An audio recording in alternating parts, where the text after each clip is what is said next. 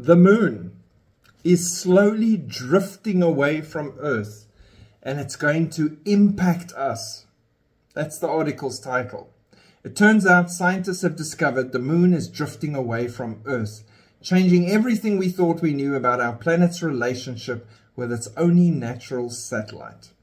It's also having a real impact on the length of days on the planet.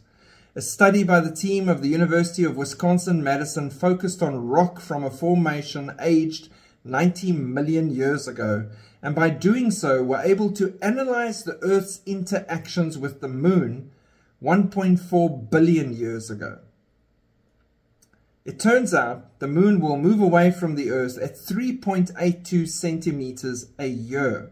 That means it will result in Earth days lasting 25 hours in 200 million years' time.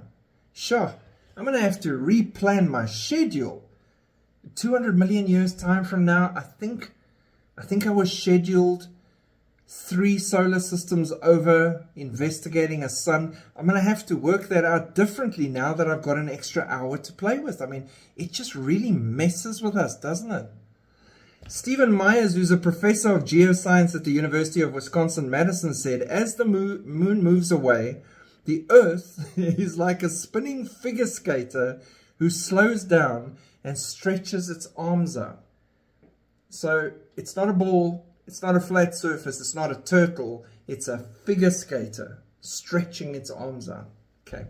Scientists uncovered billions of years of worth of secrets buried beneath the surface of the moon.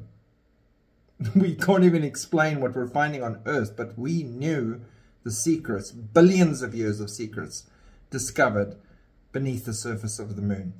All thanks to China's space program, which has uncovered hidden structures which can help us piece together the moon's past.